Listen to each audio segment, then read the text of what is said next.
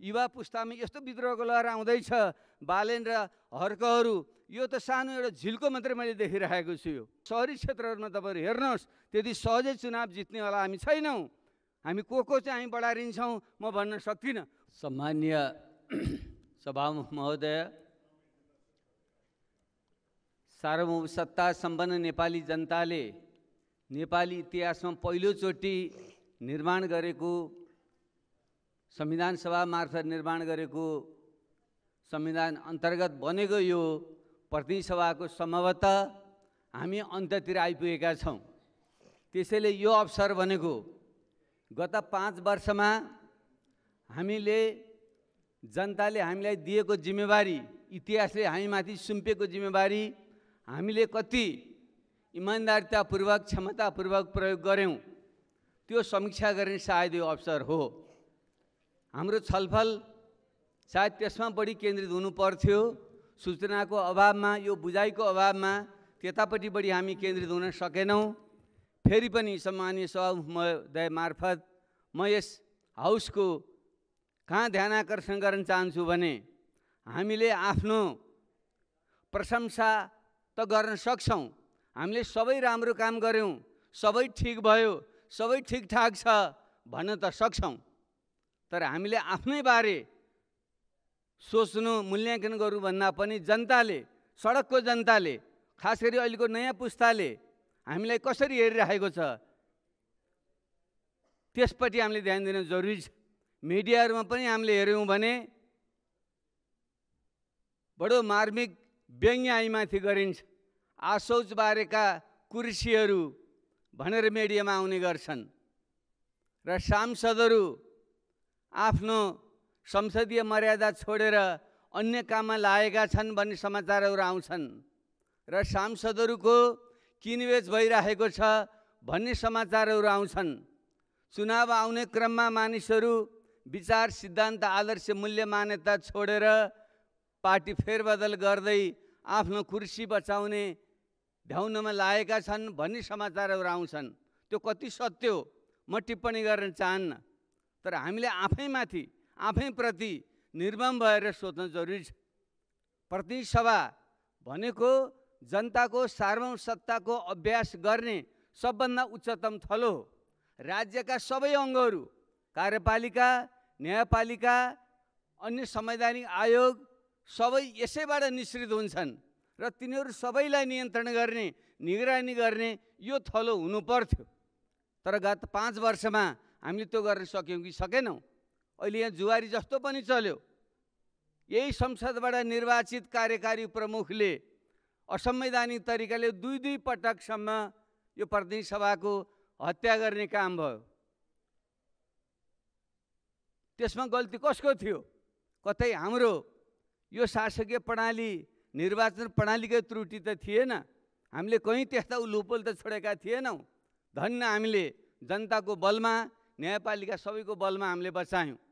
त्यो समीक्षाको एउटा महत्त्वपूर्ण विषय हाम्रो बन्नुपर्छ न्यायपालिका चेक एन्ड ब्यालेन्स एउटा महत्त्वपूर्ण अङ्ग मानिन्छ तर हाम्रो न्यायपालिका भित्रभित्र कति खोक्रो रहेछ भन्ने कुरो अहिले जुन महाभियोग प्रकरणमा कुराहरू आइरहेका छन् बयान आइरहेको छ समितिले लिइरहेको छ त्यसले देखाउँछ हाम्रो राज्य सत्ताको अर्को अङ्ग पनि कति मकिसकेको छ।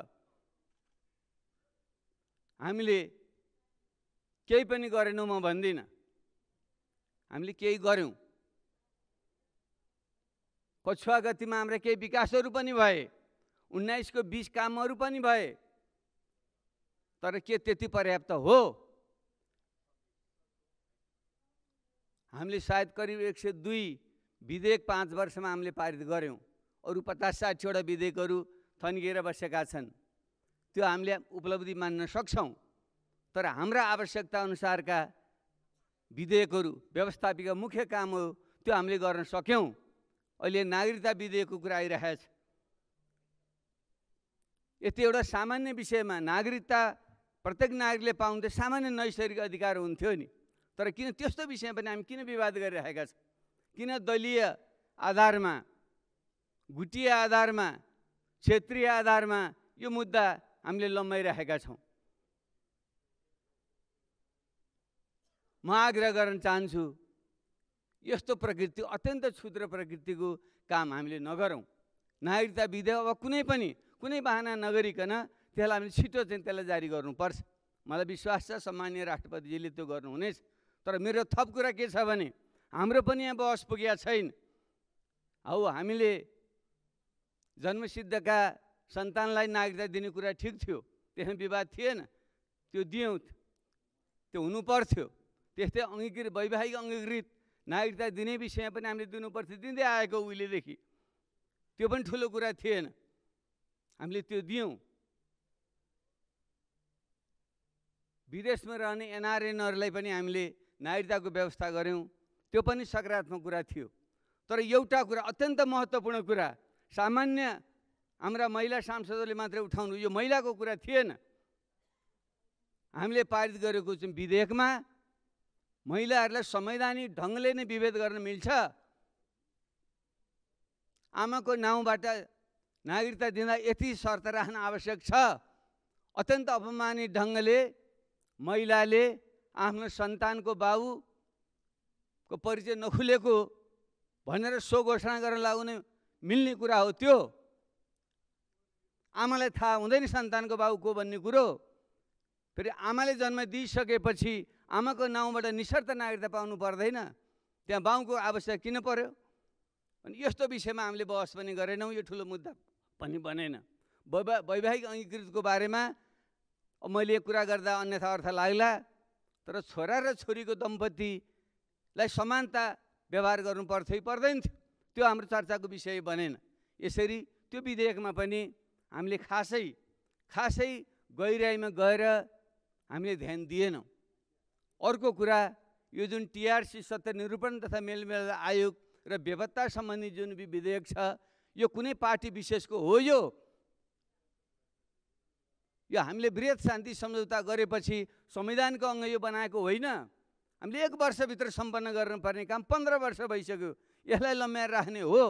मैले त अपेक्षा गरेको थिएँ यो केही दिनभित्र यो जारी हुन्छ र त्यो प्रक्रिया अगाडि बढ्छ? तर मैले देखेँ फेरि त्यसमा पनि फेरि राजनीति फेरि दलीय गुटिए राजनीति गर्यो। गरियो र त्यो टिआरसी र बेपत्ता सम्बन्धी विधेयक हामीले अहिले पनि जारी गर्न सकेनौँ। ती लाखौँ परिवारहरू हजारौँ दसौँ हजार परिवार लाखौँ जनता जो त्यसबाट पीडित छन् त्यसप्रतिको हाम्रो दायित्व बन्दैन। यो कुनै पार्टी विशेषको हो माओवादीको मात्रै हो अथवा कुनै एउटा पार्टीको मात्रै विषय हो यो। यो त राज्यको विषय थियो। त्यसले यसको हामीले किन संवेदनशील हामी बनेनौँ यस्ता यस्ता अन्य थुप्रै विषयहरू छन्। हो विधेयककै विषयमा पनि हामीले हाम्रो कर्तव्य ठिक हामीले निर्वाह गर्न सकेनौँ। त्यसैले सबै ठिक छ भन्नु सही होइन। हामी सबैले स्कुलमा पढ्ने गर्थ्यौँ एन्डरसनको कथा एम्परेसन न्यु क्लोथ। बादशाह नाङ्गै थिए तर आसेपासीहरूले बादशाहले अत्यन्त राम्रो लुगा लाछ भने प्रशंसा गर्थे। बादशाह सडकमा हिँडे सबैले क्या गजबको लुगा भने तर एउटा सानो बच्चाले भन्यो बादशाह त नाङ्गै छ त्यसले अहिले हामीलाई हामीलाई सडकबाट युवाहरूले नाङ्गै छन् भनिराखेका छ यो कुरालाई हामीले स्वीकार गर्ने कि नगर्ने? त्यसैले मेरो आग्रह छ यो पाँच वर्षको मूल्याङ्कन गर्दा हामी ठिक ढङ्गले पास हुन सकेनौँ। केही नम्बर त हामीले ल्यायौँ। पच्चिस नम्बर तिस नम्बर त हामी ल्यायौँ होला। तर हामी पास भएनौँ यो यथार्थ हो। त्यसैले यसलाई हामीले गम्भीरतापूर्वक लियौँ भने मेरो चाहिँ आग्रह छ। म धेरै कुरा राख्नुभन्दा पनि केही कुराहरूमा यो गरिमामय सदनले ध्यान दिनु पर्थ्यो खास गरी नेपाल जस्तो अत्यन्त जटिल भू राजनीति भएको मुलुकमा एकापट्टि चिन पहिलो शक्तिको रूपमा उदय हुँदैछ भारत अहिले पाँचौँ बनेर दोस्रो अर्थतन्त्र बन्छ भन्ने प्रक्षेपण गरिँदैछ केही दशकभित्र। यस्तो अवस्थामा यी दुईवटा ठुला शक्ति र अमेरिकी जुन विश्व महाशक्ति हो उसको चासो बढेको ठाउँमा यो भूराजनीतिक सन्तुलन कसरी मिलाउने भन्ने विषयमा चाहिँ हाम्रो गहन छलफल भएर एउटै राष्ट्रिय नीति हामीले बनाउनु पर्थ्यो कि पर्दैन थियो। हामी एउटै एमसिसी जस्तो विषयमा हामी महिनौसम्म चाहिँ दलीय आधारमा हामीले लड्यौँ। तर हामीले हामीले यी तिनटै मुख्य शक्तिहरूको एउटा नयाँ ढङ्गको शीतयुद्ध यहाँ मडारिँदैछ त्यसको सन्तुलन मिलाएर आगामी दिनमा देशको स्वाधीनताको रक्षा सँगसँगै यो देशको स्वाधीनताको रक्षाको भौगोलिक स्वाधीनताको मात्रै कुरा होइन आर्थिक विकास र समृद्ध कुरा पनि त्यहाँ जोडिएको छ। जबसम्म यो सन्तुलन मिलाउन सक्दैनौँ त्यति बेलासम्म यी दुई ठुला बजारसम्म नजोडिएसम्म डेढ डेढ अरबका जुन दुई ठुला ठुला बजार छन् त्यो दुईवटा ठुला बजारसँग नजोडिएसम्म तपाईँ हामीले सोचेको विकास र समृद्धि नेपालमा हुनेवाला छैन छैन छैन। जतिसुकै टाउको परे पनि हुनेवाला छैन। त्यसैको निम्ति पनि हामीले यी दुईवटा ठुला अर्थतन्त्रसँग हामीले तालमेल मिलाउन सक्नै पर्छ। त्यतापट्टि खोइ हाम्रो बहस भएको? हो खालि हामी सीमा सीमाबारे अत्यन्त संवेदनशील हुन पनि पर्छ। किन एउटा उपनिवेशवादको युगमा राज्य विस्तारको युगमा भूगोलको एक बित्ता जमिनको नि महत्त्व हुन्थ्यो। त्यसैले हामीले लिम्पिया धुरा कमसेकम नक्सामा समेत भन्ने पनि हामीले सर्वसम्मतिले राखेर एउटा ठुलो काम गऱ्यौँ एउटा गौरवको विषय हो। तर त्यो प्राप्त गर्न हामीले के पहल गऱ्यौँ? त्यसपछि केही पहल गऱ्यौँ? अनि हामी खुट्टा ताना ताना गरेर बसेका छौँ। मैले चुच्चे नक्सा बनाएँ भनेर एउटा उफ्रिया छ अनि त्यसपछि के गरियो त? त्यो प्राप्त गरेर क्षेत्र हामी कहाँ पुग्यौँ? त्यत्तिकै प्राप्त हुन्छ। यहाँतिर बजारे त्यो प्राप्त हुन्छ। के कुटनीति एउटा कौशल हामीले देखाउन सक्नुपर्छ? त्यो जुन इपिजी थियो म प्रधानमन्त्री भएको बेलामा त्यो अवधारणा सुरु गरिएको थियो। त्यसमार्फत सबै विगतका असमान सन्धि सम्झौताहरूको पुनरावलोकन गर्ने सिमानाहरूको पुनरावलोकन गर्ने यो पारवान लगायतका मार्गहरूको अवलोकन गर्ने अनि त्यसलाई समष्टिका ढङ्गले हल गर्ने भनेर जुन बनेको थियो त्यो किन थन्किएर बस्यो? किन त्यसमा किन पहल हामी गरिरहेका छैनौँ? त्यतापट्टि खोइ हाम्रो संसद कहिले बहस भयो? खोइ राज्यले कहाँनिर ध्यान दियो? अनि हामीले मैले चुच्चे नक्सा जारी गरिदिएँ भनेर अनि मैले चाहिँ ठुलो राष्ट्रवादी भएँ भनेर अब जनताको बिचमा चुनावमा आउँदैछ। हामीले सबभन्दा बिक्ने कुरा भनेको चाहिँ अत्यन्त यो भौगोलिक राष्ट्रवाद छ। राष्ट्रवाद राम्रो कुरा हो। राष्ट्रिय राज्य रहन्जेलसम्म हामी सबैको पहिलो लोयल्टी दायित्व राज्य राष्ट्रपति नै हुनुपर्छ। तर राष्ट्रियता भनेको भूगोल मात्रै होइन। जनता हो अर्थतन्त्र हो सभ्यता हो संस्कृति हो साधन स्रोत हो त्यसको समष्टिगत राष्ट्रियता हो। त्यसले यो विषयमा पनि हामी चुकेका छौँ। यतापट्टि पनि हाम्रो ध्यान पुगेन। मेरो यो आग्रह छ। दोस्रो कुरा हामीले यति ठुलो सङ्घर्ष गरेर यो सदनमा हुनेहरू हामी सबै हिजो लोकतन्त्रको निम्ति लडेका। पहिलो पुस्ताका बिपी पुष्पलालको पुस्ता त हामीसँग रहेन तर पञ्चायती निरङ्कुशता विरुद्ध लड्दै बहुदलीय लोकतन्त्र ल्याएर अनि गणतन्त्र सङ्घीय लोकतान्त्रिक गणतन्त्रसम्म पुर्याउन जनयुद्ध मधेस आन्दोलन आदि लडेका ती आन्दोलनकारीहरूको बाहुल्य भएको यो हाम्रो सभा हो। त्यसैले जुन हामीले संविधान जारी गऱ्यौँ त्यसमा केही त्रुटि थिए। म आफैले पनि यो आधा गिलास भरि छ आधा गिलास खाली छ भनेको थिएँ। केही पनि थिएन भन्ने होइन त्यो सत्य होइन। जो साथीहरूले जलाएँ भन्नुभएको छ त्यो पनि नभने हुन्छ साथीहरूले। जलाएको हो भने तपाईँ यहाँ किन आउनुहुन्छ? किन मन्त्री खानुहुन्छ तपाईँहरू? किन पार्टी चार्दै हिँड्नुहुन्छ? यो दोहोरो कुरा नगर्नुहोस् तपाईँहरूले। यो आधा गिलास भरि थियो त्यसैले गर्दा तपाईँहरू यहाँ हुनुहुन्छ। आधा गिलास खाली छ त्यसले त्यसलाई हामीले भर्नुपर्छ। यो सत्य कुरा हो। चुनावको मुखमा आएर अनि फेरि चर्का कुरा गर्ने जनतालाई ठग्ने काम कसैले पनि नगरौँ। त्यसले यो लोक दोस्रो कुरामा भन्दैछु लोकतन्त्रको पूर्णताको निम्ति हामी सबैले समिति लिनुपर्छ। पहिलो कुरा जुन दुई तिहाई बहुमत भएको सरकार पनि पाँच वर्षसम्म चलेन त्यसको पछाडि के कारण थियो? किन हामीले जुन शासकीय स्वरूप बनाएका थियौँ तिनीहरू त्रुटि थियो। त्यसैले हामीले भनेका थियौँ संविधान सभामा पनि जनताले सुझाव दिएका थिए असी प्रतिशत जनताले सुझाव दिएका थिए प्रत्यक्ष निर्वाचित कार्यकारी राष्ट्रपतीय प्रणाली र पुनः समानुपातिक संसद हुनुपर्छ भनेर जनताको सुझाव थियो। हामीले त्यति बेला टेरेनौँ। हो त्यसैको दुष्परिणाम यो हो। त्यसैले अब हामीले यसबाट पाठ सिकेर यो प्रतिनिधि सभाको कार्यकालका दुःखद घटनाबाट पाठ सिकेर अब यसपट्टिको निर्वाचन पछि एउटा मुद्दा बनाएर हामी जानुपर्छ जनतालाई सूचित गर्नुपर्छ र तपाईँ हामी सबैले यो शासकीय निर्वाचन प्रणालीलाई बदलेर देशमा चाहिँ एउटा राजनीतिक स्थायित्व ल्याउने र अनि सबैको प्रतिनिधित्व हुने त्यो प्रकारको प्रणाली हामीले अप्नाउनै पर्छ। त्यस कारणले आधा गिलास भर्ने भनेको एउटा शासकीय निर्वाचन प्रणाली सुधार्ने हो। दोस्रो कुरा भनेको हामी सङ्घीयतामा गयौँ। यो खुसीको कुरा हो तर सङ्घीयतालाई अझै हामीले आत्मसात ठिक ढङ्गले गरेका छैनौँ। एउटा बहुजातीय मुलुकमा एउटा बहुराष्ट्रिय मुलुकमा हामीले विभिन्न जाति भाषाहरूको पहिचान अधिकार सहितको हामी सङ्घीयतामा जानै पर्थ्यो। त्यसले जुन खालको सङ्घीय ढाँचा बनेको छ त्यो पूर्ण छैन। यसको पुनरावलोकन गरेर हामीले त्यसलाई पूर्णता दिनैपर्छ सबै जाति क्षेत्र लिङ्ग समुदायको सहभागिता हुने गरी त्यो सङ्घीय पुनर्संरचना हामीले गर्नै पर्छ। यो विषयमा पनि हामीले जति बहर छलफल गर्नु पर्थ्यो यो सदनमा गर्न हामी सकेनौँ। र यो मुद्दा अब आउँदो निर्वाचन पछिको सदनमा हामीले हल गर्नै पर्छ। तर कतिपयले यो उसले संहिताले काम गरेन त्यसलाई संहिता खारेज गर्नुपर्छ अथवा प्रदेश चाहिँदैन जस्तो कुरा भइराखेको छ यो त बिरामीको चाहिँ उपचार गर्ने हो कि बिरामीलाई मार्ने हो? खुट्टा अनुसारको चाहिँ जुत्ता खोज्ने हो कि खुट्टै काट्ने हो? त्यसैले संहिता नचाहिने होइन। संहिता त्रुटिपूर्ण भएर यो समस्या आएको हो र ती त्रुटिहरूलाई हटाएर संहितालाई नेपालको विशेषता सुहाउँदो बहुराष्ट्रिय बहुजातीय बहुक्षेत्रीय सांस्कृतिक विविधता युक्त मुलुकलाई सम्बोधन गर्ने गरी संहितालाई हामीले फेरि नयाँ ढङ्गले पुनर्संरचना गर्नै पर्छ। यो पाटोमा हामी चुकेका छौँ। त्यसरी नै हाम्रा जुन संवैधानिक अङ्गहरू न्यायपालिका हो सुरक्षा अङ्गहरू हो यसमा त्रुटि भने देखियो नि। न्यायपालिकाभित्रको विसङ्गतिले देखिएन। जुन हाम्रो चाहिँ आयोगहरू हामीले बनायौँ त्यो आयोगमा त्रुटि रहेछ निर्माण गर्ने क्रममा नै त्रुटि रहेछ खोल्तीबाट झिकेर बनाएका मान्छेहरू राखेर बनाएको आयोगले चाहिँ भ्रष्टाचार पनि रोक्दो रहेनछ र त्यसले चाहिँ राम्रो ढङ्गले चाहिँ विभिन्न अङ्गहरूले काम पनि गर्दो रहेछ भन्ने पनि देखियो नि। त्यसैले संवैधानिक आयोगहरूलाई पनि त्यसलाई बढी स्वतन्त्र स्वायत्त बनाउने र त्यसको चाहिँ निर्माण प्रक्रिया नै बढी लोकतान्त्रिक बनाउने पारदर्शी बनाउने दिशातिर पनि हामीले जानै पर्छ। त्यसरी चाहिँ त्यसै नै अरू जुन महिला दलितहरूका जुन अधिकारका कुराहरू छन् अपुग भएका कुराहरू छन् त्यो दिशातिर हामीले ध्यान दिनैपर्छ। त्यसमा पनि हामी चुकेका छौँ र आउँदो निर्वाचनपछि आउँदो प्रतिनिधि सभामा त्यता हामीले ध्यान दिनुपर्छ भन्ने मेरो चाहिँ आग्रह छ। तेस्रो कुरा हामी सबैले भनेका छौँ हाम्रो देशको प्रमुख समस्या भनेको यति बेला गरिबी र बेरोजगारीकै समस्या हो। क्रान्ति क्रान्ति र परिवर्तन त हामीले ल्यायौँ तर जनताको जीवनमा परिवर्तन हामीले गर्न सकेका छैनौँ।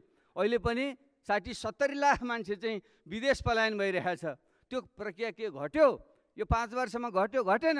अस्ति मात्रै तथ्याङ्क आइरहेको पोहोर सालभन्दा अहिले त तिन गुणा बढी मान्छेले चाहिँ वैदेशिक रोजगारीमा गयो भनेर आएको थियो। यहाँसम्म कि विद्यार्थीहरू देशभित्र शिक्षाको जुन बेहाल छ त्यो कारणले गर्दा नो अब्जेक्सन सर्टिफिकेट लिने विद्यार्थीहरूको सङ्ख्या गत वर्षभन्दा यो वर्ष तिन कि चार गुणा बढ्यो भनेर आइरहेको थियो। भनेर कहाँनिर सुधार आयो?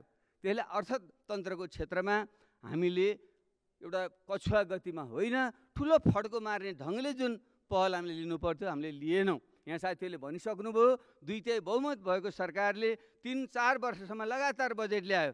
ला मैले थाहा पाएसम्म यसरी बजेट ल्याउने अवसर कसैले पाएको थिएन। म पनि दुई वर्ष करिब प्रधानमन्त्री बने म दुई वर्षसम्म बजेटै पेस गर्न पाइनँ मैले। कमी यो सरकारले यो पालामा तिन चार वर्ष कमसेकम एउटै सरकारले बजेट ल्याउनु पाएको थियो तर संरचनात्मक परिवर्तन हुने गरी देशको एउटा कछुवा गतिको चाहिँ अर्थतन्त्रको जुन विकासको गति छ अहिले पनि हामी संसारका सबभन्दा गरिब देशमध्येमा पर्छौँ। जिडिपीको हिसाबले भन्ने हो भने हाम्रो स्थान अहिले पनि एक सय सत्तरी असीतिर चाहिँ हाम्रो स्थान पुग्छ। ह्युमन डेभलपमेन्ट इन्डेक्सको हिसाबले अस्ति मात्रै आएको थियो एक सय एकचालिसौँ स्थानमा हामी छौँ। वर्षौँदेखि हामी त्यहीँनिर छौँ। भने यही होइन हाम्रो अल्पविकसित अवस्था छौँ भन्ने कुराको सूचक भने यसलाई बदल्नको निम्ति हामीले यो कृषि प्रधान देशमा एउटा क्रान्तिकारी भूमि सुधार हामीले गर्नै पर्थ्यो। वैज्ञानिक क्रान्तिकारी शब्द प्रयोग नगरौँ वैज्ञानिक भूमि सुधार भनेर हामीले संविधानमै लेखेका थियौँ। वैज्ञानिक भूमि सुधार गर्नु पर्दैन थियो। जमिन बाँझो भएर बस्ने मा युवाहरू रोजगार नपाएर विदेश जाने अनि हामी चाहिँ तिन खर्बभन्दा बढीको चाहिँ खाद्यान्न आयात गर्ने अनि यसै देश विकास हुन्छ। हामीले सबभन्दा पहिलो जोड कृषिको रूपान्तरण गर्नु पर्दैन थियो। त्यो भएपछि हाम्रो कति बहस छलफल भयो। आवश्यक नीति के गरियो हामीले? त्यो वैज्ञानिक भूमि सुधार लागू गर्ने कति पहल हाम्रो गरियो? हामीले त्यो गरेनौँ। जुन पराधीन अर्थतन्त्र छ हाम्रो व्यापार घाटा झन् बढ्दो छ हाम्रो वर्ष दिनको बजेट बराबरै व्यापार घाटा भइसक्यो। सायद यो वर्षको व्यापार घाटा सत्र खर्ब हाम्रो भइसकेको छ। अनि यो प्रत्येक वर्ष बढ्दो छ। यो घटाउनेतिर हामी कहाँ गएका छौँ? विदेशी ऋण प्रत्येक वर्ष बढ्दो छ। उन्नाइस खर्बभन्दा बढी विदेशी ऋण भइसक्यो। अनि यसलाई घटाउनेतर्फ हामीले के चाहिँ त्यस्ता महत्त्वपूर्ण कदमहरू हामीले चाल्यौँ? त्यसै भएको हुनाले यी सबै विषयमा ठुला संरचनात्मक जुन समस्या छन् यो हल गर्ने दिशा दिशातिर एउटा दलले मात्रै होइन। यो सम यो हाउसले नै एउटा आर्थिक समग्र राष्ट्रिय आर्थिक नीति बनाउनुको निम्ति हामीले जोड बल गर्नु पर्थ्यो हामीले छलफल गर्नु पर्थ्यो मार्गदर्शन गर्नु पर्थ्यो त्यसमा पनि हामी चुक्यौँ। त्यसैले हामीले परराष्ट्र मामिलामा एउटा साझा धारणा बनाउने कुरा लोकतन्त्र अझ बढी लोकतन्त्र बनाउने यसका अपूर्णतालाई पूर्णता दिने विषयमा साझा अवधारणा बनाउने कुरा र अर्थतन्त्र आर्थिक विकास र समृद्धिको एजेन्डामा एउटा साझा मार्गचित्र बनाउने कुरामा हामी चुक्यौँ। त्यसैले त्यसैले अहिले तपाईँले देख्नु भएको छ म भन्न चाहन्न तपाईँहरू सबै म मेरो उमेरभन्दा केही कम हुनु होला प्रधानमन्त्रीजीमा भन्नाले जेठो हुनुहुन्छ तर जुन खालको लहर अहिले आउँदैछ युवा पुस्तामा यस्तो विद्रोहको लहर आउँदैछ बालेन र हर्कहरू यो त सानो एउटा झिल्को मात्रै मैले देखिरहेको छु यो। तर यसलाई तपाईँले सम्बोधन गर्न सक्नु भएन भने आउँदो निर्वाचनमा गाउँठाउँमा त त्यति प्रभाव नपर्ला। हाम्रो चुनाव जो सङ्गठन छ त्यसको बलमा चुनाव जितिएला तर सहरी क्षेत्रहरूमा तपाईँहरू हेर्नुहोस् त्यति सहजै चुनाव जित्नेवाला हामी छैनौँ। हामी को को चाहिँ हामी बढारिन्छौँ म भन्न सक्दिनँ। मलाई त आत्मविश्वास छैन। म सकेसम्म आफूलाई नवीनीकरण गर्ने कोसिस गरिरहेको छु तर म आफैमा आत्मविश्वास छैन। जुन ढङ्गले हामीले हामी पछाडि परिरहेका छौँ देशको समस्या हल गर्न हामी चाहिँ असफल भइरहेका छौँ त्यसैले हामीले शिर ठाडो गरेर जनताको बिचमा मत माग्न जाने अवस्था म देखिरहेको चाहिँ छैन। त्यसैले यो जुन युवा पुस्ताको असन्तुष्टि छ त्यसलाई तपाईँले कम तपाईँले नाग्नुहोस् त्यसैले मेरो अन्त्यमा म नकारात्मक कुरा गर्ने मान्छे म होइन। हामी त्यत्रो लडाइँ लडेर व्यवस्था फेरेका मान्छेहरू अब यो आर्थिक क्रान्ति सामाजिक क्रान्तिको नेतृत्व पनि गर्न सकिन्छ सक्नुपर्छ भन्ने त मामा राख्छु। त्यसै भएको हुनाले हामीले यो पाँच वर्षको समीक्षा गर्दा हामी पास हुन सकेनौँ। हामीले गल्ती गऱ्यौँ हामी राजनीतिक आन्दोलनको क्रममा त त्याग र बलिदान गऱ्यौँ। हामीले युद्ध जनयुद्धमा लाग्नेहरूले त ज्यान्समै अत्कलामा राख्यौँ। अरू साथीले जेल्नेले भोग्नुभयो। त्यसको हाम्रो योगदान थियो। सायद त्यसैको ब्याज बापत जनताले चुनेर हामीलाई यहाँ पठाए। तर यो प्रतिनिधि सभामा हामीले जनताको जुन नयाँ आकाङ्क्षा थिए त्यसलाई सम्बोधन गर्न जहाँ हामी असफल भयौँ यदि त्यसलाई सच्याएनौँ त्यसलाई हामीले आत्मसात गरेनौँ भने आगामी निर्वाचन तपाईँ हामीलाई त्यति सहज हुनेवाला छैन। त्यसैले गम्भीरतापूर्वक आत्मसमीक्षा गरौँ।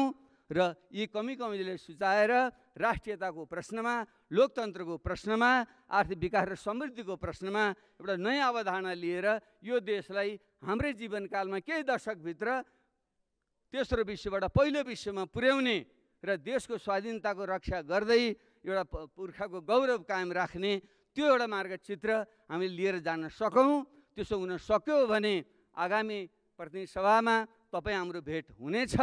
नत्र तपाईँ हामी मध्ये कति भेट हुन्छौँ म भन्न सक्दिनँ म आफै यहाँ हुन्छु कि हुन्न म भन्न सक्दिनँ त्यसैको निम्ति तपाईँहरू सबैलाई हार्दिक शुभकामना दिँदै जुन आसन्न चाडपर्वहरू छन् दसैँ तिहार छठ ती सबैमा तपाईँको सुख शान्ति र समृद्धिको कामना गर्दै आगामी निर्वाचनमा पनि तपाईँहरूलाई सफलता मिलोस्। यही म शुभकामना व्यक्त गर्दै अहिले म तपाईँहरूबाट बिदा हुन चाहन्छु। धन्यवाद। नमस्कार।